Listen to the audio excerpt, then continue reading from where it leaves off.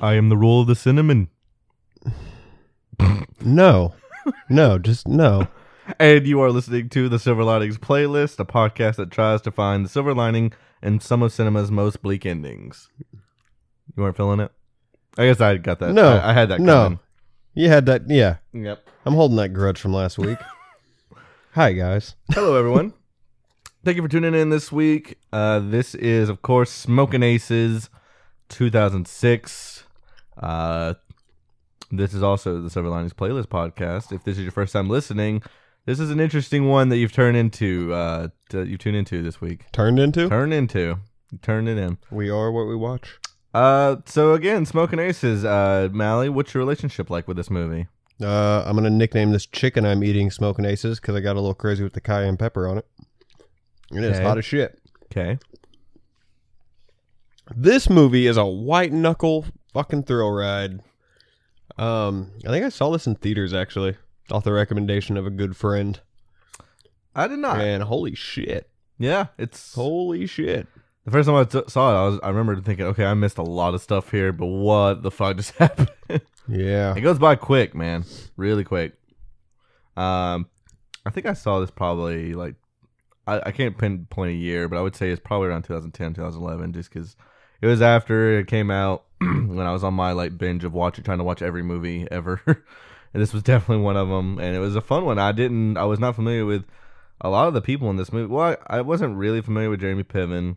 I'd only seen Ryan Reynolds and maybe I think Waiting Hmm. and just friends. maybe Just Friends. Yeah, uh, I knew Common was a rapper, but I think that, well, this is his first movie, so I wasn't really Yeah. too familiar with him.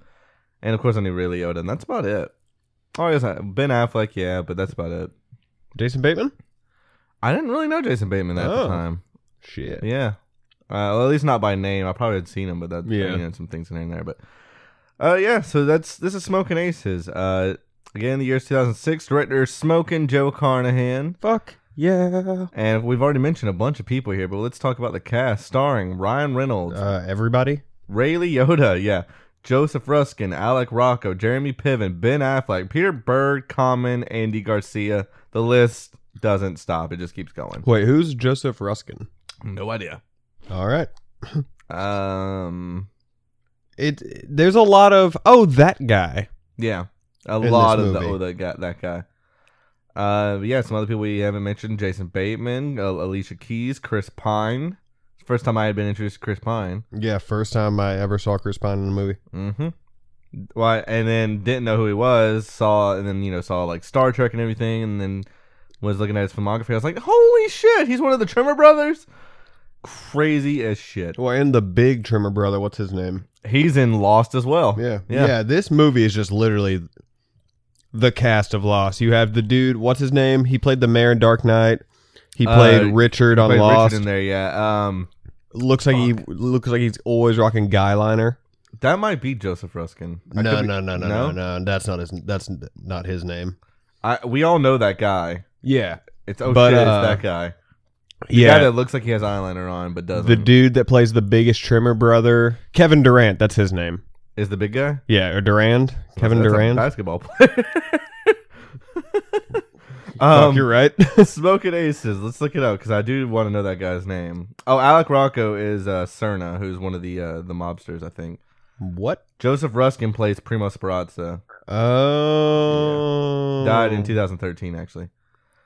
Um, fuck. What is that Who am I name? thinking of then? Mm, Nestor Carbonell, That's his name. Yeah. Kevin Durand, Kevin Durand. Durand, uh, Tommy Flanagan, Mm-hmm. who uh, apparently is on that Sons of Anarchy show that I've never watched. Yeah, Um, he's, he's actually one of the better characters on that show. Joel Edgerton, Mm-hmm. who is literally just in everything. Yeah. Uh, Matthew Fox, other people, Mm-hmm. A lot of people in this movie. Uh, Cookie from Empire. I can't remember her name. Taraji P Henderson, Yeah, she's in here. There's a lot of people. Peter Um, Berg. Mention Peter Berg. Budget of thirty-five million. Yeah. Okay.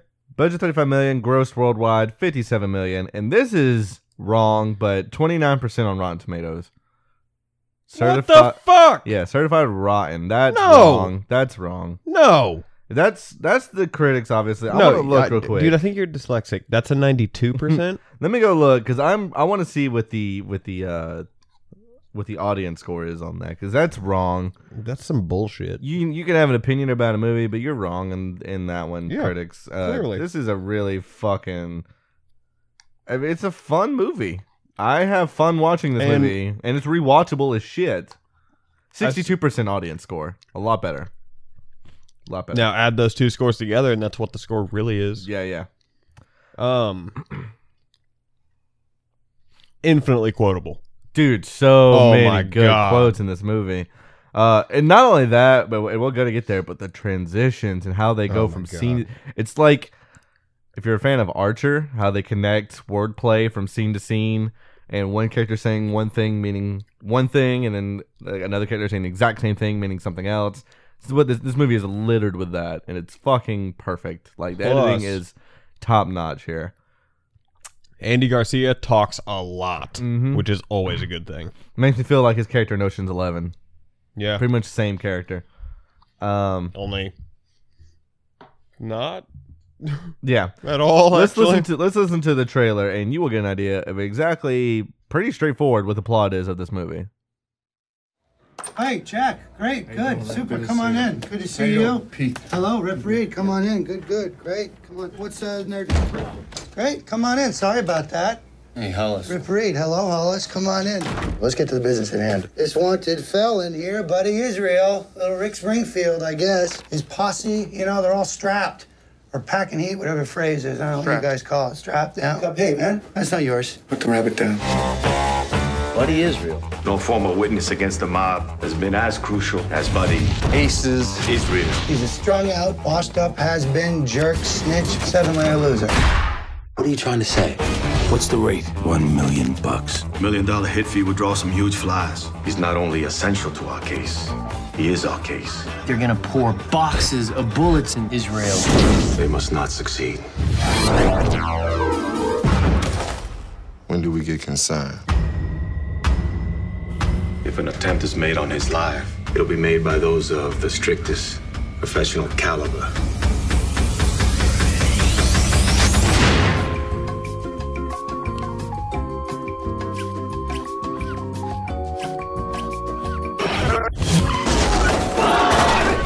What are you gonna do? I'm gonna get to Israel before they do.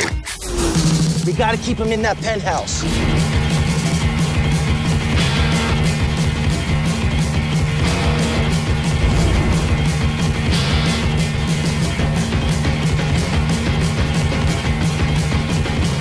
Guys will go megaton.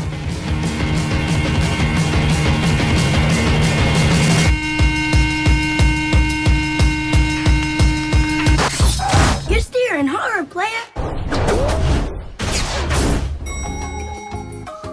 I'm going down. I bet you are.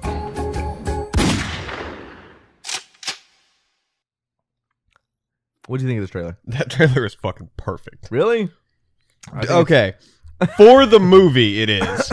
yeah. It is batshit crazy, yeah. Just like the movie is, but like in a good way.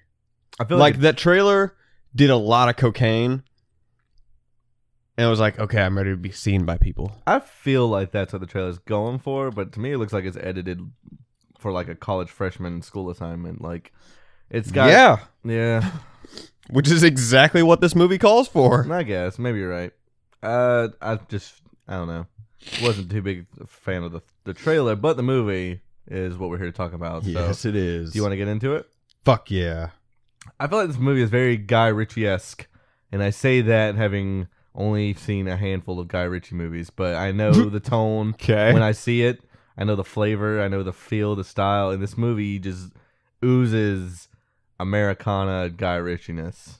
You know what I mean?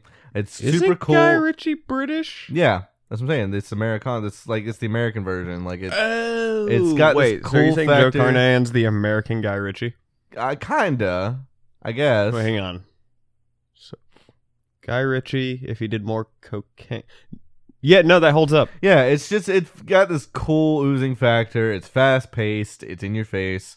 It's like you said, infinitely quotable. Oh, dude, It's- this movie does not let up. It's just a cool movie. Like everyone talks so fast in this movie, and if you're not paying attention, you are gonna miss vital plot points. And uh, we already mentioned it, but the cast alone makes this movie just fucking awesome. Oh yeah, And there's so many little nuances in this movie that have no real purpose in terms of the plot. It just makes his character more three dimensional, makes his universe feel way cooler. Like oh, this movie has some great little character moments. like uh just the whole conversation, which is our first scene actually with Ryan Reynolds and Ray Liotta, who are Agent Messner and Carruthers, respectfully. Uh, just they're in this van, they're staking out uh, a, a mafioso's house, Primo Speranza. They're staking out his residence. Uh, and they're having a conversation about ur- how urine is good for your skin, as Ray Liotta says his grandma told him. And again, this conversation has Oh, no what, your grandma bearing used on to the piss plot. on your face. Yeah, it has, Hey, watch it. has no bearing on the plot, but it's just a little nuance thing that's just happening. It's, a little, it's kind of like a Tarantino thing. Like things will happen that have no bearing on anything. It just Yeah. makes the characters more well rounded, makes the universe cooler. But uh, they've been there for apparently 16 hours outside this house, just staking them, staking them That's out. horrible. Yeah. Uh, another little nuance thing here. Messner apparently is really sweaty, and, and Carruthers ask him, you know, why, are- why are you, are you nervous? And Messner's like, why? He's like, we, what kind of deodorant do you use? And Ryan Reynolds looks down and sees that he's sweating. And he's like, I don't use deodorant. He gives you Alzheimer's, which I don't know. I don't know. That I- could be I- science. It could be not. That's but, a Snopes easily look upable kind of thing. But I'm gonna keep wearing deodorant because yeah, I'm still stinky. still gonna wear deodorant. Um, yeah, but they're just they're sitting there just talking about the you know the the case and Primo Speranza and everything, and then uh, a phone call comes in and they they tap the phone. Uh, one of uh, Speranza's head men is having a conversation. They're talking about how they're gonna uh, double cross Buddy Israel, played by Jeremy Piven.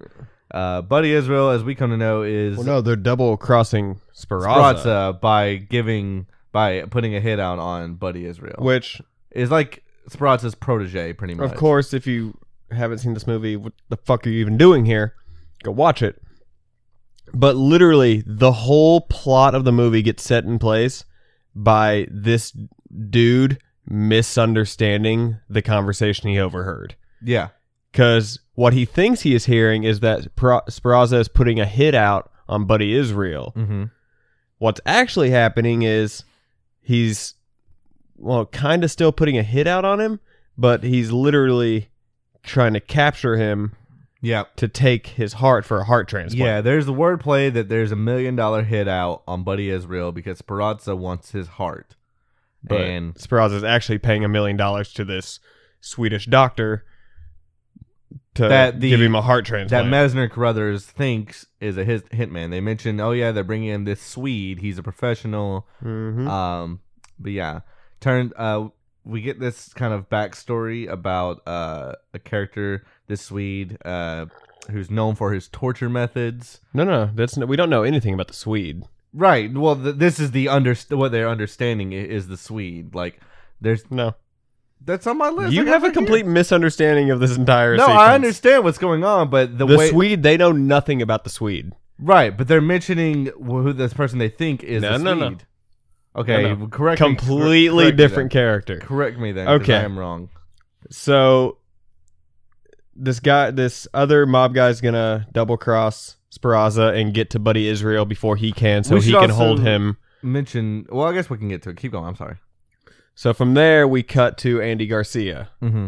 who's the FBI boss, pretty much. the director. Yeah. Giving a rundown of what's happening. He's pretty much like, word's gotten out about this million dollar hit, so we need to get to Buddy Israel before anyone else can because he's a key informant in our case against Speranza. yeah.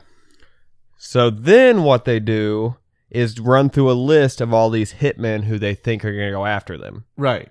And one of them happens to be who they think is a Swede. No. Right? That's what I understood No, no. about this movie. No, no, no. Okay, keep, keep going. The Swede is a complete mystery. No one knows a goddamn thing about the okay, Swede. so The list they run through this list of hitmen who they think are like because they've learned that all these different hitmen are going for this Right. bounty. right. And then they just run through this list of people who they think they're going to go after him. including Richard from Lost, who's like a fucking psychopath. Yeah. Like crazy torturer. Known for his torture methods. Yeah, chewed off his fingertips in prison so he couldn't be ID'd. Down to the bone. Down said. to the bone. Which is insane. Uh, I also should mention real quick because I looked it up. Apparently, they claim that antiperspiration, uh, antiperspirants can lead to breast cancer has been proven false. I don't see. Any, I couldn't find anything about Alzheimer's. So Interesting. there you go. Um, we get Oh. introduced because all this is happening exposition wise is going like I said, like kind of like that Archer thing where we're going from one set of characters to another set of characters, and they're talking about the same thing, and it's just transitioning into showing you that everybody's talking about Buddy Israel. Oh yeah, and they kind of. Oh, sorry. Keep going. Yeah, I, I keep going. Uh, we got we introduced to these three bail bondsmen: Ben Affleck, Peter Berg, and Martin Henderson. Uh, who I'm just gonna call them by their real names because I don't know Yeah, the characters' names. Uh, they're playing pool in this pool hall, and they're kind of going over the same thing, exposition. Okay, let they're- me tell you about Buddy Ace's Israel, and we get this montage of, of Jeremy Awesomeness. Piven. Yeah, Jeremy Piven is the fucking man. he is awesome, but he is basically he was a, a Las Vegas entertainer. He won like Entertainer of the Year like five Yeah. years in a row. Uh, and he started getting connections, as they say, doing the Sinatra thing Yeah. with mafiosos and everything. Gets introduced to Speranza and starts going out on these like robbery missions and everything. Basically, he's a wannabe gangster Yeah. and just doesn't know what he's doing, but he's getting a shit ton of money, making a shit like a huge name for himself. Uh, but the FBI basically pulled him in. Is going to use him as an informant to bring down Speranza and his organization. Uh, again, Andy Garcia, FBI, the FBI deputy director, starts telling us telling the story about uh, a past FBI agent that went in undercover uh, to try and bring down Speranza, named Freeman Heller, who was a double op. Uh, he underwent. Uh, we get this flashback of him describing to the FBI board that he's going to go undercover. He's going to get a shit ton of plastic surgery. Yeah, pretty much go full on like deep undercover. Yeah, pretty much change his entire get the mob. appearance. Like thirteen to twenty something like elective surgeries to change how he's gonna look, how he's gonna speak, what his name is, everything. And uh, the FBI believes that that Primo Speranza actually shot him down in an alley after finding out. Yeah. Um, so, anyways, uh, because of that, they already have Speranza on a bunch of charges and everything, and they they're gonna use Buddy to bring him down, his testimony, which is gonna grant him immunity, pretty Mhm. much. Um, all Buddy has to do is basically play along and survive long enough at at his penthouse in this casino hotel in Lake Tahoe, uh, long enough to to to basically give his testimony. Uh, the says man that was gonna roll like double cross Israel pretty much mentioned that there's these two hit women that he wants to hire. So we get introduced to those characters. That's Alicia Keys and Cookie. I'm just gonna call her Cookie. Tarash P. Anderson, but yeah, sure. Yeah. Uh, basically having a conversation with I guess who is their finder. Their, their handler. Yeah.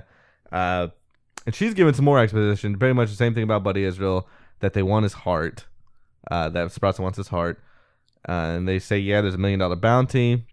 Uh, and she's like, you know, a price tag that big is going to draw all sorts of people around. And then we get introduced to all the hitmen. Uh, Pascal Acosta. Pascal Acosta, El also known as Estrago. El Estrago. And that's the dude, Richard from Lost, chewed off his fingerprints, Mhm. legendary torturer. Yep. And then the motherfucking Tremor brothers. Oh, man, we get just Chris kick Pine, up Kevin the fucking Durant, and Motorhead. Maurice Sterling. Yeah, oh, kick God, on the fucking Motorhead. Motorhead. song. We get introduced. Yeah, the Tremor brothers are neo Nazis that are fucking crazy. We'll go through 29 people just to kill one, which we As get to Ben see. Affleck so eloquently puts it, they will go fucking megaton. Yeah. Really quickly, we get a flashback of them going through a restaurant, killing everyone just to get to this one guy. Uh, one of the brothers is dragging another one out. By Yeah, one gets collar one gets shot. in the spine and passes out. Chris Pine, one Pine gets blinded. on on, like on his, the dude's shoulder, and they're in the streets just gunning this dude down. Yeah, I, out of all the hitmen, the Tremor brothers by far my favorite. oh yeah, Yeah. Uh, then Laszlo Soot, played by Tommy Flan- uh, Flanagan, who's like a fucking just master of disguise. Mhm. Like can just fucking like. Uh, if anyone watches Game of Thrones, he's like a faceless man, Mm. which you don't. So This is like a Mission Impossible scenario. Like, people are just constantly pulling off masks. yeah, uh, kind pretty of. much. Um, yeah, so we get a little like introduction to all these characters, very Guy Ritchie esque. Yeah, so you have all so you have not only Messner and Carruthers and the FBI going after Buddy Israel. You got You have Ben Affleck and his crew who are bondsmen. bail bondsmen. Then you have all these different hitmen, Hitmen. and hit women, and then apparently the mysterious sweet. Swede. Yeah, but we find out the bond expires Oh, in hit- 18 hit- hours. Hit people, sorry. Hit people. There you go. Yeah, the bond expires in hit 18 hours. While everyone thinks that, uh, well, while the FBI thinks everyone thinks that Buddy Israel is in Las Vegas, he's actually in Lake Tahoe, and everyone already knows that. So everyone's all these hit people and Carruthers and Messner are headed to Lake Tahoe, where we get introduced to Israel's suite. Uh, it's just littered with hookers and people that are passed out. And Buddy's just kind of looking around. He's waiting for his lawyer, Mecklin, to call because Mecklin is actually dealing directly with the FBI. and we get this super interesting take on Jeremy Piven because he's looking around. He kind of steps away from his suite and he looks up to this non accented light source. It's almost like a spotlight shine down on Yeah. from above. He looks up to it and he's like, Are you fucking kidding me? And puts on some sunglasses and just says, Fuck you to no one listening. And then just, or anyone anyone And then just walks around the room throwing money throwing on hookers. cards. No, it's it's playing cards. Oh, that's yeah, right. That's he's right. tossing playing cards at sleeping hookers, you know, saying like "fuck you," "get out," whatever. Uh, and uh, we get introduced to Hugo, who is Joel Edgerton, uh, Israel's assistant or Mhm. something, I guess. Who is this Eastern European dude with the worst fucking haircut? Oh my in a God. straight up tracksuit. And I'm actually gonna play the audio here because oh, we have please, to. God, do. This is no impression can do it justice. this is my favorite scene in the movie. Oh, but yeah. listen to the cinnamon roll scene. Do me a favor, will you? Will you tell me what that is? Oh, what? Look at the collar on that coat. What does that look like? That stain.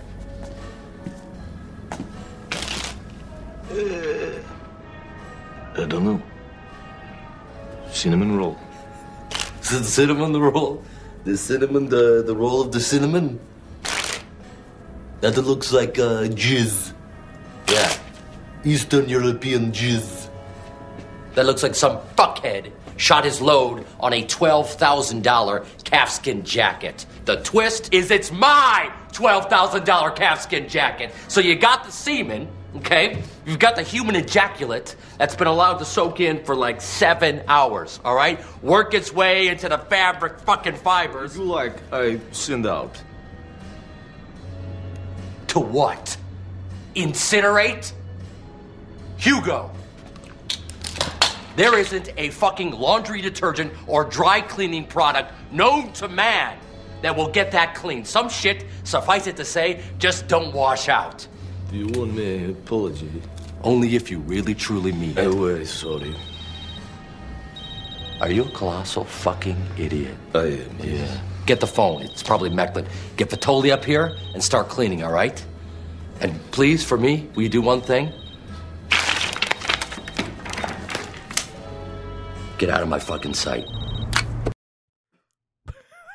fucking incredible. This is my favorite scene. fucking incredible. God, Man, all the way down to the editing where I love where he throws the cards. Like, what? Do you, what is that? He's like, and you hear Hugo go, "What?" And just closes down Yeah. to just just enough for you to see the jizz. Oh, of the the roll, the roll of the cinnamon.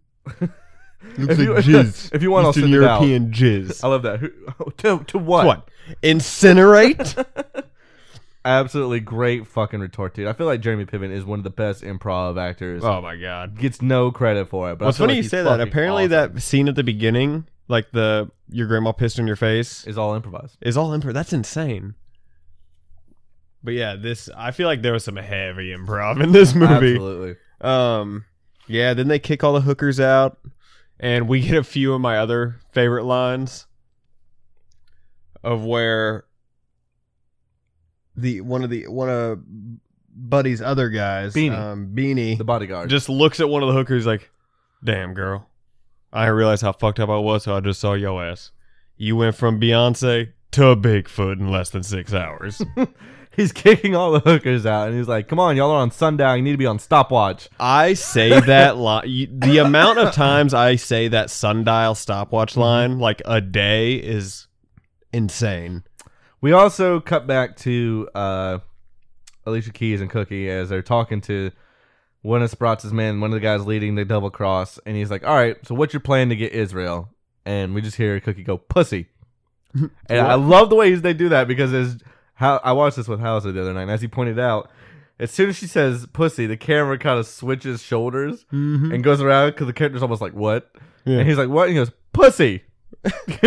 Basically, Buddy Israel loves pussy. Pushy? yeah, pushy. Pussy. Yeah, Pussy. pussy. Does that little humping motion? Uh, so Alicia Keys and Cookie's plan is that Alicia Keys is going to dress up as one of the hookers that goes up to Buddy Israel's suite and will clock him out while uh, Cookie watches from across the street in another hotel with a 50 cal fucking sniper rifle in case anything goes down. So that's their plan. Uh, and I guess they're kind of like the direct people in charge of getting Israel, pretty much. Yeah. While the other ones are just out for the bounty.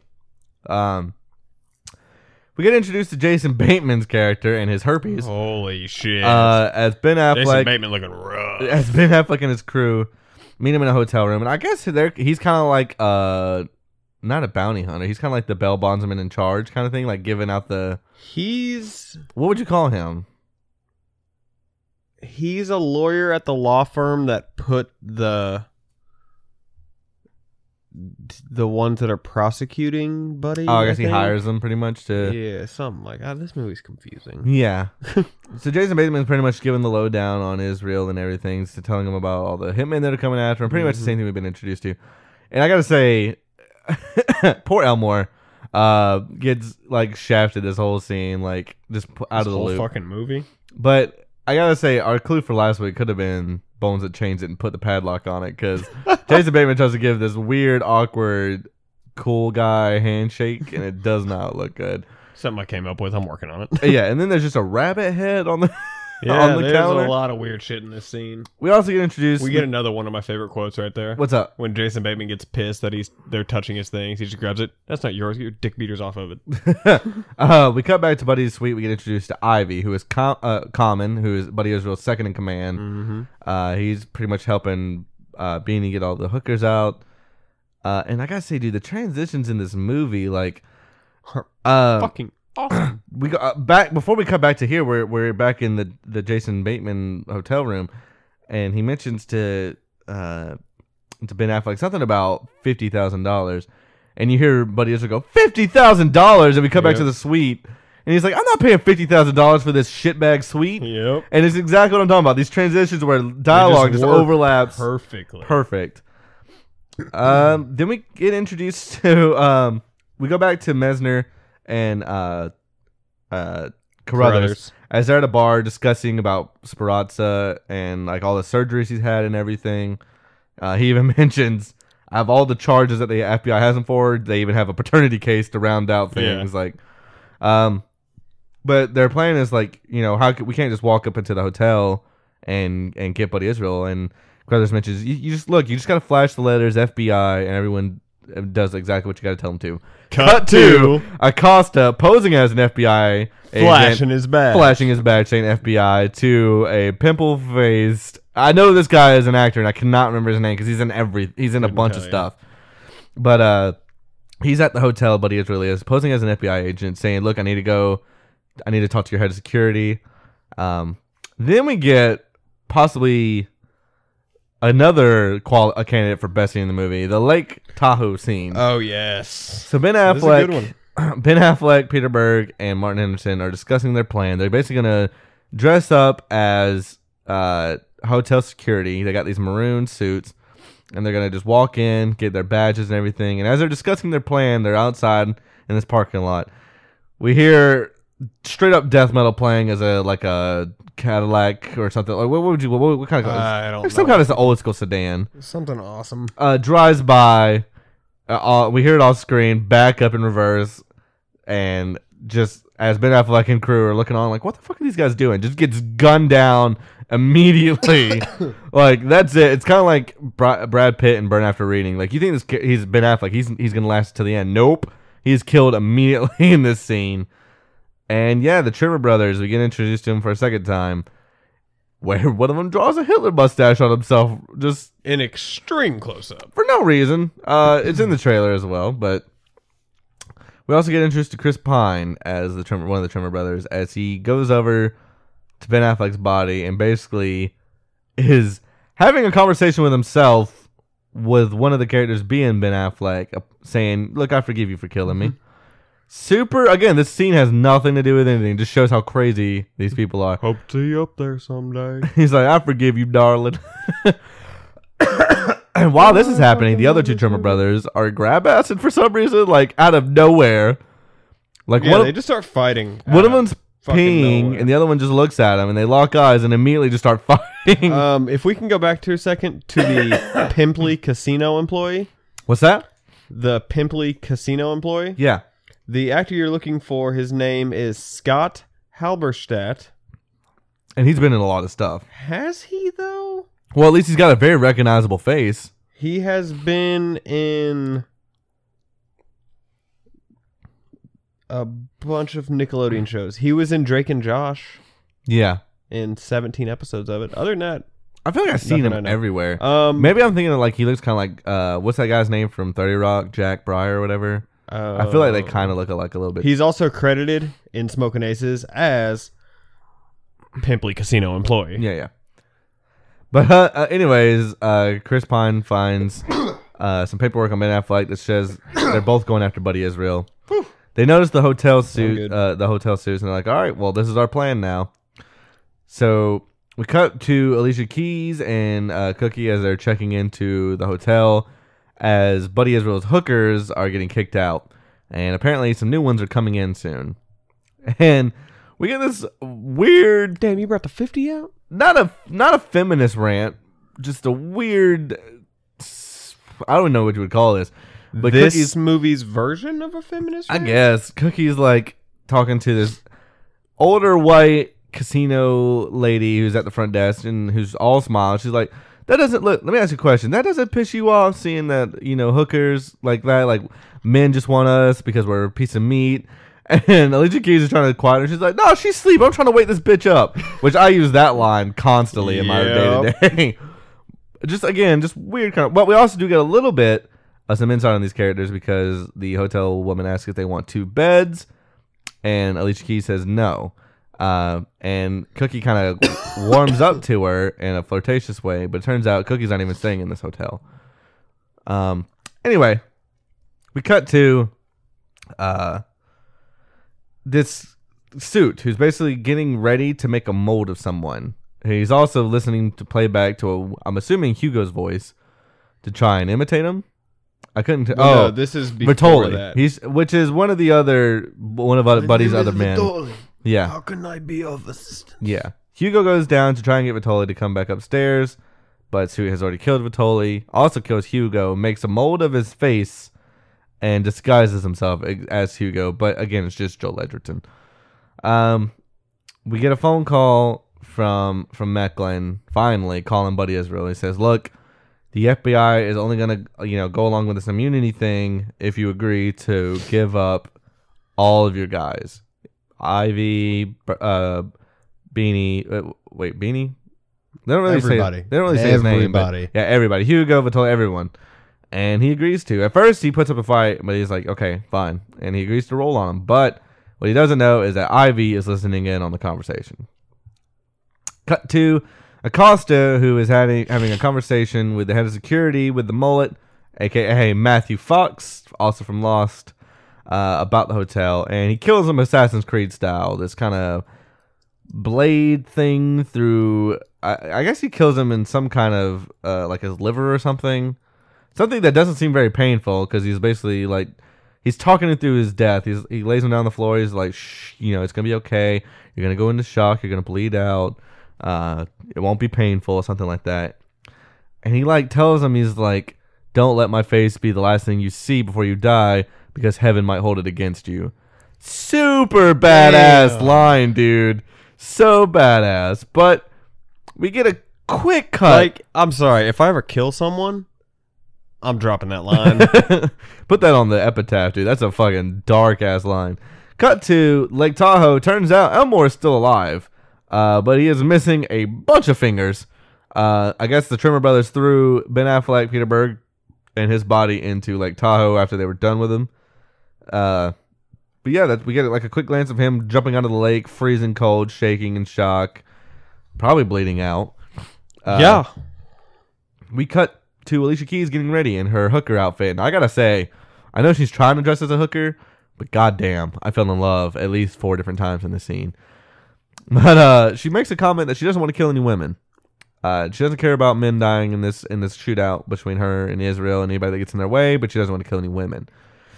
Across the ho- across the, the hotel parking lot, across the street into the other hotel, we find out Cookie is set up in a room with her 50 cal sniper rifle looking right into her window. She's able to see pretty much every window of the hotel on that side of the street.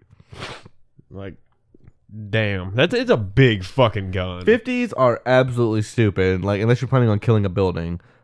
I forgot what she even said. She says, "You brought the 50." What, what did she say? I, I can't remember the line, but she basically said something similar to that. Damn, Like, you got the fifty out? you trying to kill a building? Like kind of that kind of thing.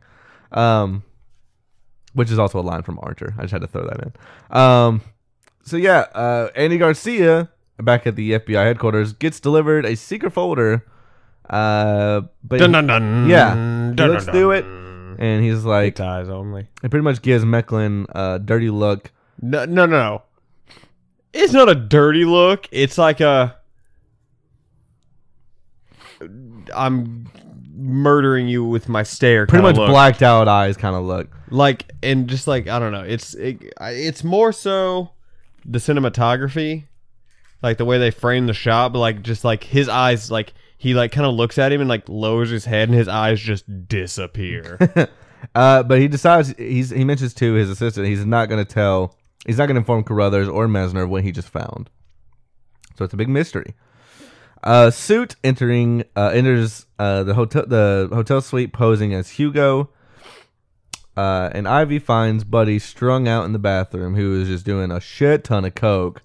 Uh, Buddy's even got two different colored eyes because he's putting one contact in and doing this Yeah. weird thing with his hands over his eyes. Drops a tear actually. and uh, Ivy asks Buddy about loyalty. He says, you know, next to a dog, my loyalty, my kind of shit, you can't buy or something like that. He's like, the only thing other more loyal than me is a dog, probably.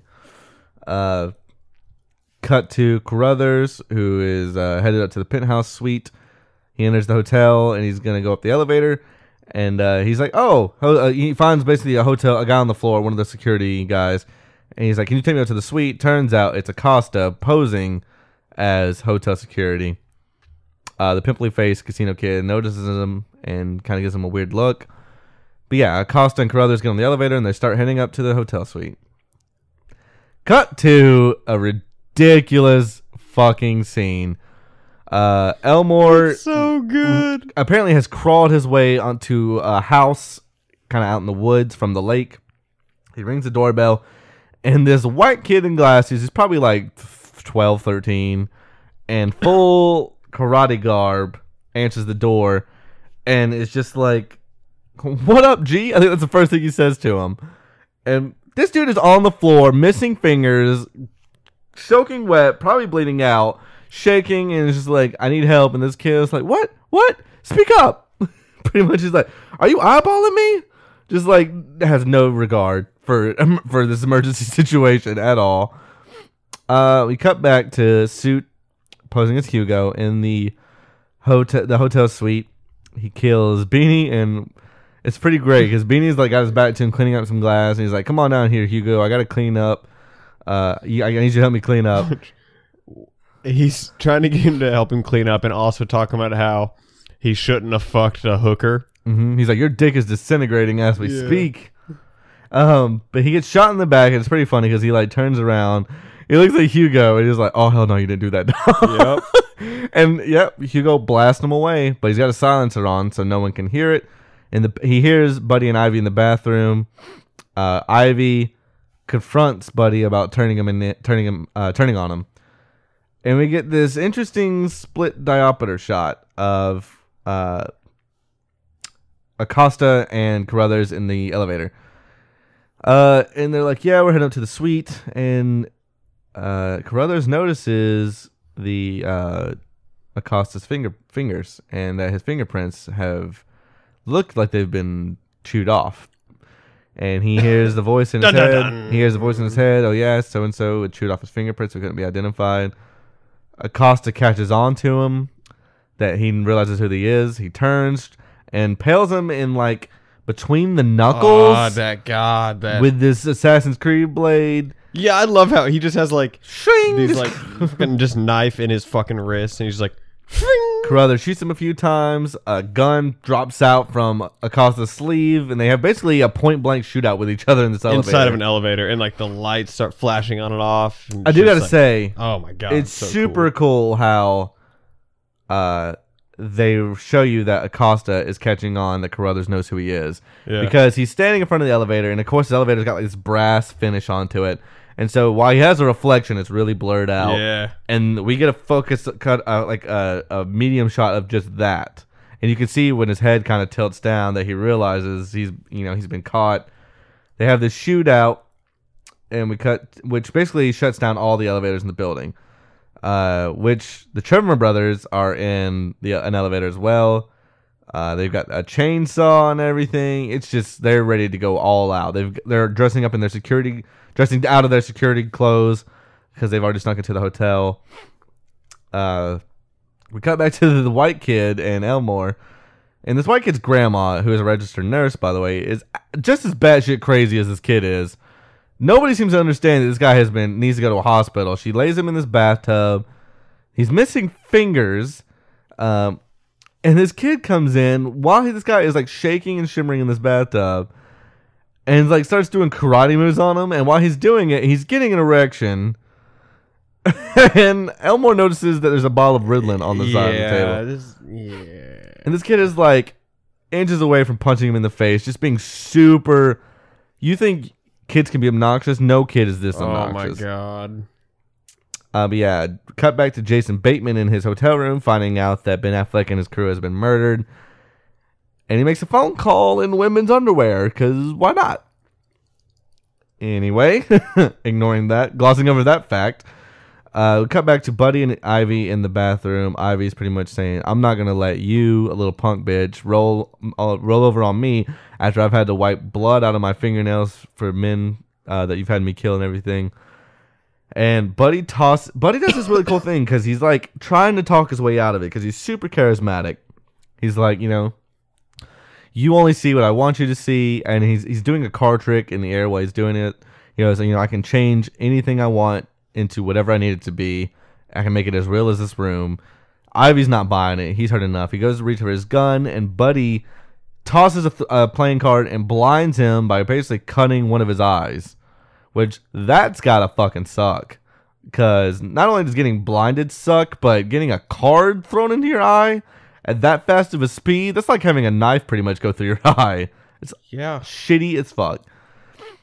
Uh, Ivy kind of stumbles, like shoots wildly as Buddy cowers in the bathtub.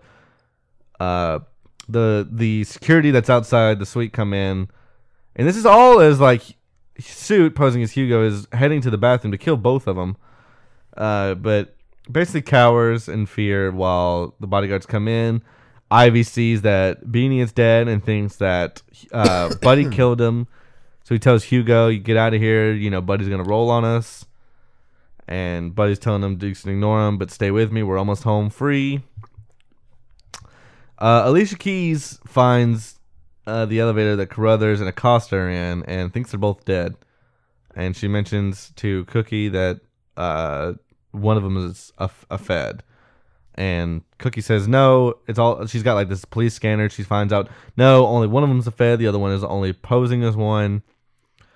Cut back to the white kid and his grandma again, where Can't get enough of them. Elmore is getting has been bandaged up. The grandma basically gives him like this like I don't know what why I don't know how, but Elmore gets a gun. I didn't understand what was happening here. Do you want to Uh, explain it? It's when so she's showing him through like the box of her like husband, dead husband But stuff. why? That's what I didn't get. Like just He just picks it up and starts looking through it. She's like, "Oh, that's my dead husband's old stuff." Or no, son, or dead husband, it's someone. dead husband, I think. Yeah. And he's just like I'm gonna borrow picks up this. the gun. He's like, "I'm gonna borrow this." Uh, and dude, I gotta say, this is all this culmination's happening. All the hitmen are pretty much at this this hotel. It's just a matter of time now. Uh, suit because Buddy is kind of like not only is he strung out on coke, but now he just you know blinded a guy. There was a shootout. He is kind of just sitting. He, you know, his bodyguard's dead. He's kind of just sitting on the steps, playing with his cards. He's a hot mess.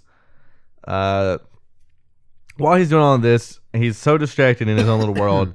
Suit starts laying out like a syringe and like medical tools. Bunch of stuff. He's prepared to kill Israel and take his heart himself. Uh, because the reason Buddy is so also so strung out is because he gets a phone call from Mecklin, who is distraught, saying the FBI revoked the deal. There is no deal. So basically, he rolled on his men for nothing.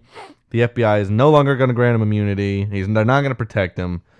Uh, and Buddy grabs a gun and tries to commit suicide, but passes out. Uh, puts his gun in his mouth, puts his hand on the trigger, cocks it, and passes out before he can do it. Yep. And start the shooting.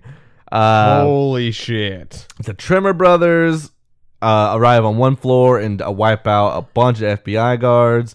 Um, Messner shows up to the hotel, has a shootout with Alicia Keys, and as they're getting having their shootout, Cookie across the way starts blasting away FBI agents. Like, you think getting shot sucks? Try getting shot and getting thrown twenty feet into yeah, a wall. Like, oh my. This shootout is just. Fu- every, 50 cal should blow your entire shit. arm off. Um, everything goes to hell in a handbasket so quickly. uh, as Alicia Keys is in the elevator shooting out to Messner and his crew, as they're also getting blasted away from the sniper rifle. Turns out Acosta's not dead, shoots Alicia Keys in the leg and in her side. But surprise, Carruthers, Carruthers isn't dead either. either, and kills Acosta by shooting him a bunch of times. Again, Yeah. for the 1000th time. Yeah. Uh, as th- everyone is distracted and distraught from all the gunfire, Alicia Keys manages to escape down the elevator. Cut to the Tremor brothers who are killing FBI agents with machetes and chainsaws and like this pump, this like old school pump shotgun. Yeah. Uh, Ivy comes uh, basically who's being escorted out, uh, manages to get a hand on a gun, kills one of the Tremor brothers, and the, the big one with the chainsaw. He basically shoots him so he drops the chainsaw, shoots him again so he's down on the ground, and like there's kind of they kind of like lock eyes because they realize that if this Tremor brother guy gets shot again, he's gonna land on top of the chainsaw and basically get his asshole ripped Yeah. open. and of course he does. That's exactly what happens. lands right on the chainsaw. And just- yeah, it starts trembling like he's having a seizure on top of this chainsaw. God, I love this movie. But Chris Pine manages to to escape and like change wardrobes into like Yeah. this faux FBI. It's not even FBI. He just basically gets a hold of a badge and a suit, and, and Not even a suit, just a jacket. Yeah, A black suit jacket. Ivy escapes and man- and actually swings Alicia Keys up in his arms and runs down the stairwell. Uh, suit is taken into Soot. custody. Suit. What did I say? Suit. Uh, yeah. Sorry. Um, a suit is taken into custody by the guards. Um, Messner is Wait, Soot isn't taken into custody. well. He's he's held right there. He's he's held in in handcuffs, and he notices because he tries when he runs to like he tries to kill Buddy Israel right as the guards Yeah. run in. but And so he takes off running into the other room. well, not that's not here yet. He's like What? still handcuffed there. He manages to escape in a few seconds, but oh wait, you're right. Messner is running up the the uh, the stairwell to try and get to the suite, and, and as he's running up, Ivy and Alicia Keys are running down. Uh, they have kind of a, a stalemate between themselves, but basically Alicia Keys is like, "Look, just let us go. I didn't kill Carruthers. They were like that when I got there. You got more problems to worry about." And he does. Messner lets him go. Uh, but yeah, Messner arrives to the top. Suit manages to escape by running into. He escapes out of his handcuffs, runs into the bathroom. Uh, Ditches his like face, fake Hugo face, his and clothes, his jacket and everything. within like four seconds. yeah, manages to disrobe, and he basically they think he's the butler because he's pointing. He's like, they, he went that way, he went that way, Mm-hmm. and walks out. Pretty much, just walks straight the fuck out of this room. Uh, so yeah, it's, suits escaped, Chris Pines escaped, Alicia Keys and Ivy have escaped. Um, Acosta's body is being wheeled out on a, a gurney as his Assassin's Creed blade thing kind of like retracts. So. Yeah. so you're like, ah, fuck, Ah, this guy's still alive. He's probably still alive. Uh, Cookie, who has been flirting with Alicia Keys this whole time, uh, and Alicia Keys isn't feeling it. Uh, she you know, loses her shit, which is why she starts blasting away these FBI agents because she believes Alicia Keys is dead and she's Mhm. 100% in love with her. But she looks down and realizes that she sees a man, how dare he, carrying Alicia Keys out of the building. It's just not fair. Super distraught, but she basically sees this right as the FBI in her hotel room. And I, I'm not sure she gets arrested here. I thought she did, but there's like a gun sound effect right as it transitions away. So I'm not sure if they shot her uh, or not. But Oh yeah. Oh yeah. Chris Pine is escaping and uh, walking to the parking lot to his garage where uh, Elmore notices and says, Hey, man, is that your car? And Chris Pine's like, Nope. and he throws up his FBI badge. He's like, I'm confiscating it. And he's like, I'm FBI. And Elmore goes, Oh, you're FBI. All right. And he pulls a gun on him. He mentions the like Tahoe thing. He goes, All right. Chris Pine's like, All right, all right. You caught me. I'm sorry. And they have kind of a conversation, a very simple conversation. Like, he's like, Look, man, I'm sorry I had to do that to you, but it's just the way of the business, you know, and it's always going to be that way. So Elmore's like, Look, I'm going to need the keys to your car. And he's like, All right, that's fair enough. So Chris Pine puts the key ring on his last good finger of his left hand, like around his pointing finger. And he's like, Sorry, man. Yeah. He walks off. Elmore looks at the keys and is like, Man, fuck this. And just And just unloads a clip No, on. no, no. he doesn't even turn around. He literally just stares at the keys in his hand, points the gun backwards, and just pop, pop, pop, pop, pop, pop. Chris nails Pine- Chris Pine. Yeah, just drops. So uh, we cut to basically Andy Garcia and crew have shown up to uh, and pretty much taken control of the of the whole suite. situation. They're like, look, uh, you're tells Messner you're to report back to Washington D.C. Uh, you'll be debriefed there, but we'll have no more discussion of what happened here today. Messner's like, fuck that. Not only did I have a bunch of people just get shot, I got you know blast almost blasted away by a 50 cal. Carruthers is dead, and you're not telling me anything. He's like, look, you just go back to D.C. We'll I'll debrief you there. So, cut to later that night, Messner goes to a nearby hospital where presumably Buddy Israel is being kept. Mhm. Um, and he takes Andy Garcia hostage. The director of the FBI points a gun at him, says, "Look, you're gonna tell me exactly what the fuck happened here." Um, and Andy Garcia leads him to, into uh, this this hospital room where, you see Sparazza and Mhm. Israel in bed, like Hug- each in a hospital yeah. bed in the same room. hooked up to these machines and EKGs and stuff. And Messner's confused. He's like, "Look, m- make this make sense to me." Turns out Sparazza and Buddy Israel are father, and son. son. Uh, the Swede that everyone keeps mentioning wasn't a hitman. He was the head of cardiology at this university, who's Yeah. basically like the best in the business at doing heart transplants. Sparazza wanted Buddy Israel's heart because he's dying and they're blood compatible, so he wants Israel's heart, his son's heart, which is super fucked up when you think about it. Yeah. Uh, and then you get the whole. You find out the contents of that folder from earlier. mhm. Detail. Well, let me let me let me tell one more thing first. Okay. Uh, turns out Suit was not a hitman uh, hired for this job. He was, or who wanted the bounty on, on this job. He was just hired to kill Buddy's entourage, get him out of the to way. clear them out of the way, pretty much. Yeah. Turns out this folder that Garcia was delivered details what exactly happened with Freeman Heller, who was the undercover double op, and Sparazza. Turns out Freeman this is Heller went undercover, changed. This is mind blowing. this. Yeah, it changed his whole thing. Like they they kind of reshow the scene where he's like, you know, I'm gonna get plastic surgery to change my jaw, change my nose, pull my ears back.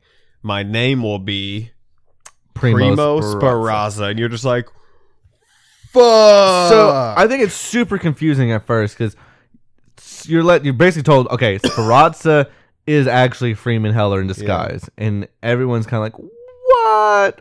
Um, turns out that Sparazza got into uh, Freeman Heller became Primo Sparazza, got into the Sparazza fam- mafioso.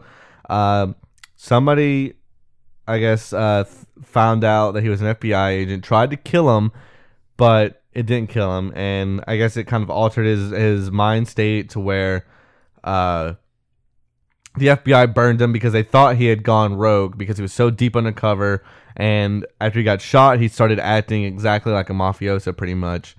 Uh, so the FBI is the one who actually killed Heller, and uh, or tried to kill Heller, not Sparazza trying to kill Heller, because again they thought he had went rogue. So he survived. He assumed his fake identity, and basically had all these surgeries that weren't elective. They were actually to like to keep To him alive. yeah, to and fix him after the FBI quote shot him. the quote unquote paternity uh, charge or whatever that uh, Sparazza had against him was for Buddy Israel. Yeah.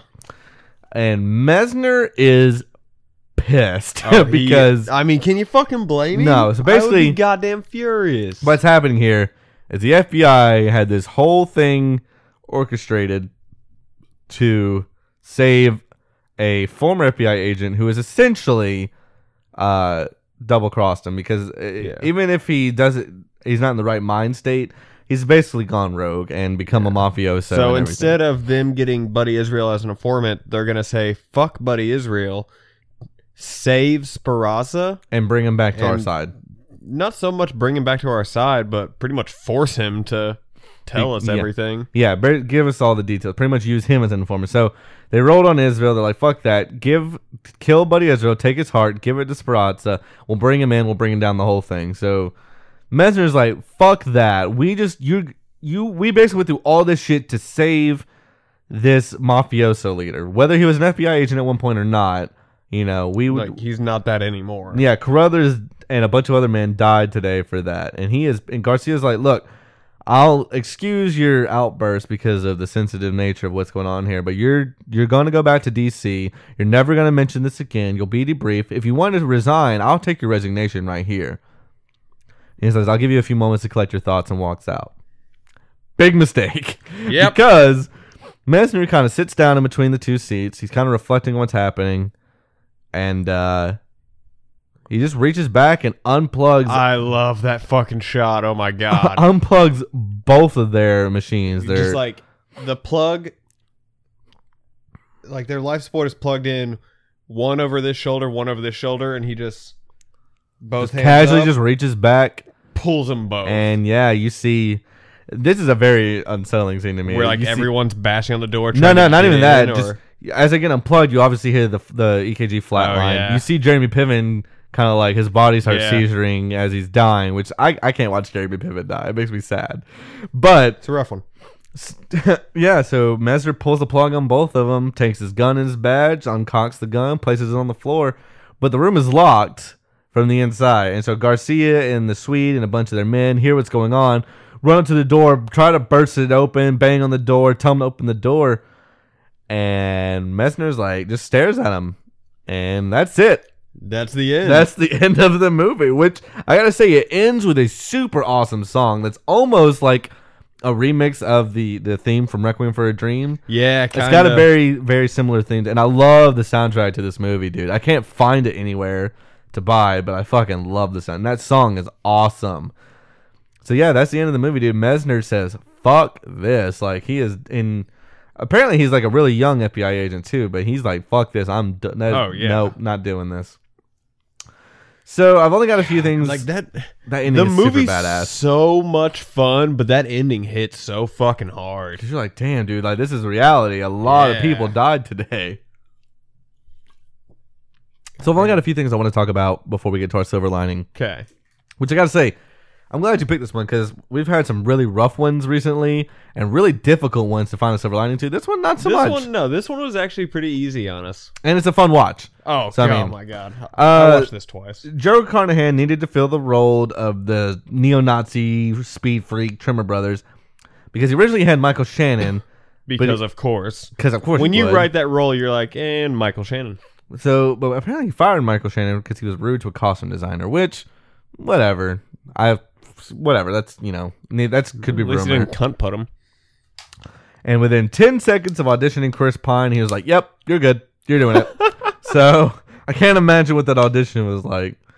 Uh, it's the feature debut, hilarious. the feature film debut of both Alicia Keys and Common. both of them really Did really well. yeah Uh, is oh, this dude I Alicia- love comedy Is this Alicia. Keys' only movie? no maybe I don't know Uh, Terrence Malick said that this was a very well directed film and is one of his favorites of all time. what That's insane that Terrence Malick would say that. wait Yeah. what Terrence Malick, of all people, said that. That's like Kubrick saying, yeah, man, I fucking love Hot Fuzz. Like, um, that's that's That's a real thing that happened, huh? Yeah, last thing I want to mention because I thought it was kind of interesting. Uh, only one female character is killed throughout the entire movie, and that's the prostitute. The prostitute that is accidentally shot in the face by Alicia Keys' character, uh, which is kind of ironic because again, she had said earlier in the film she didn't want to Yeah. kill any women. Um, and according to this trivia note, which again this is in, this is IMDb, so take this with a grain of salt. The only other female character that gets killed is her partner by the feds, but I don't even know if she technically gets killed. She's You think so? dead. Yeah. Okay. She unleashed that fucking 50 cal into that room that, yeah, no, she's dead as fuck. All right. All right, Mallie. If you don't mind, I'm gonna go ahead and throw my silver lining out here. What you Um, got? I I think it's pretty straight up obvious. I mean, let's let's do a tally, okay? Acosta, question mark, right? I mean, Yeah. dead, alive, um, presumably more alive than dead. Out of the game for at least out of the game for a while. Suit Soot. escaped. Suit, Sut, sorry, Soot. Soot escaped. It's like, did you even watch the movie? escaped. Uh, Cookie dead. We'll say dead. yeah, dead as fuck. Sherman Brothers all dead. Uh, who else we got? Is that it? Uh, yeah, pretty much all the bad guys, including Buddy's crew, all except for Ivy, are fucking dead. So that's a good thing, right? You get rid of the waste. Buddy dead. Sparazza dead. Can't beat that, man. And of course, by that ending scene, Ryan Ryan Reynolds at least gets some retribution for the death of his partner and all the innocent lives that were lost. Okay. Pretty easy, straightforward, Okay. kind of a silver lining. What you got? Mine, come and go and get that booty. Okay. Sure. Simple. Yeah. Simple, elegant. Not only that booty, he's getting Alicia Keys. Yeah. Oh, okay. I want to do something real quick. Uh, my buddy Hauser, who also does a podcast, you can check it out on YouTube. It's a video podcast called the Film Scouts Podcast. Um, he loves this movie, Good. and when he heard we were doing it, he mentioned he wanted to give his input. Oh, please. So I'm gonna try and call him. I haven't kind of foretold him that I was gonna call, uh, so we might this might not work. But while I'm doing this, do you want to tell me? I mean, this movie is fun, and Yeah. it's pretty. It's pretty like not downer until you get to that ending. Yeah, yeah. Which that ending might leave you with a fuck kind of thing. Feeling. Oh, no, So, for sure. you want to tell me while I'm trying to get him on the phone? Do you want to tell him, uh, tell us uh, what your pick me up movie alternative is? What's a movie you can watch after Smokin' Aces? Okay, my pick me up. I'm going. It's another Ryan Reynolds film. Bit of an ensemble cast, if you will. Mm-hmm. Waiting. Oh, that's. I think that's the first Ryan Reynolds movie I saw. Uh, yeah, probably that I can think of. Let's see if we can get Great Hauser on the phone. Oh, I'm so excited. I love waiting though. Oh, the movie. I thought you meant like waiting on someone to answer the phone. I think that's weird. Please leave your Oh, message for 706. oh, Hauser, Son you of failed a me. You told me you wanted to be on the episode. Well, you lost your chance. uh, my pick me up. We're doing a part two. my pick me up. Uh, I think is similar in vein. It's a little bit of an ensemble. I think. okay. Also super funny. Also starring Ryan Reynolds. Oh. Going with the instant classic, one of the best pictures of this year, 2016. You gotta go with Deadpool, man. Oh, excellent choice. I mean, Excellent. You can see Ryan Reynolds. Another movie. D- Ryan Reynolds just picks like, is the script quotable? Cool, I'll do it. Yeah, pretty much. And while you get to see him a little more of his action, serious kind of stuff in this one, you get all fun in that one, man. Super fun. Dude, you movie. get some dramatic acting from him in Deadpool. you do actually get a little too. bit Like, of dramatic acting, yeah. He killed it in Deadpool. I gotta say, Ryan Reynolds comes up a lot on this podcast. Ye- Holy shit. like, why? Why does Ryan Reynolds continuously come up on this podcast? Anyway, I Don't know, but I like it. that is Smokin' Aces from 2006. If you enjoy listening to our show, please subscribe on iTunes since you're already there listening to it. Please like us on Facebook, facebook.com slash Silver Linings Playlist. You could even drop us a suggestion for a movie you'd like us to talk about and find the Silver Lining too. Um, I should mention, I think this is probably the last episode of the year. Uh, we're gonna go on our Christmas break, uh, go back home, see our families. I'm gonna go freeze to death. I just, I just graduated, so I want to go find a job. Do you know how? uh, you know what the temperature in Chicago was today? A good one? Because I hate Florida weather. One. I'm down for that. It was one degree. I would. I would love that. One. Yeah, I could do that. Find me a job up in Chicago. How about that? I would love to live there. It was one. I'm okay with Don't that. know. Okay, I hate Florida weather. It's like 76 outside right now, and I want to It's, die. it's like 76 outside and like 90 inside. yeah, well, Uh, whatever. that kind of Air made the room conditioning is hot. expensive. Um, But one, that's too cold. I Because guess, keep in yeah. mind, with wind chill, it's negative 12. Uh, right that's a good point. I didn't think about the wind chill. Yeah. All right. Anyways, uh, but yeah, this is probably this is probably the last episode of the year. So thank you everybody for tuning in to our little show. We will be back at the beginning of the year, and when we come back, clue for next episode. I'm not gonna lie, we're starting off the new year strong. okay. We if, are if that's what you want to call it, I guess. Out strong. Mm, okay. What do you want to give me for Heavy a clue? hitter A for clue- 2017. A clue for the first episode of 2017. What you got? All right, this is not only a clue for our first episode of 2017, it's also just good advice in life. Mm-hmm. Also, like directly related to the plot. That as well. yeah. Avoid women named after flowers. mm. Mm. Mm. 2017 is going to be a good year. It's gonna be. We're gonna start it off We're batshit crazy. holy shit. so thank everyone for listening this year. Please tune in next year. Uh, and again, like us oh on my god, we can Facebook. say that because it will. Oh my god. yeah, dude. Subscribe on iTunes. All that good stuff. we will be back. Thank you for listening. And to leave you with the last one of the year, as always, Excelsior.